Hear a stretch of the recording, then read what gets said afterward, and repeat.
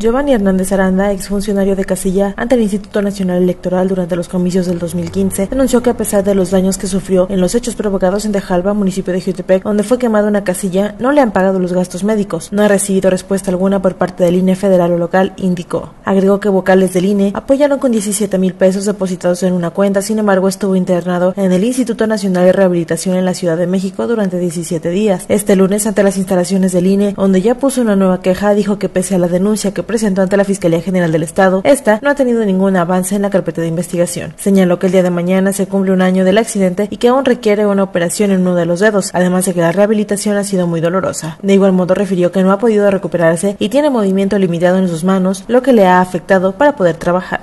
Mi nombre es Giovanni Hernández Aranda, ex funcionario de Casilla, primer secretario de la casilla 454 de Tejalpa, Quitapec, Morelos. El día de hoy viene a ceder a, las oficinas de línea, ¿por qué? Ah, pues este, para que ver si hacen justicia, ¿no? No, no hay, avance en la carpeta de investigación por parte del Estado de quién ha sido el, posible autor material o intelectual de este delito.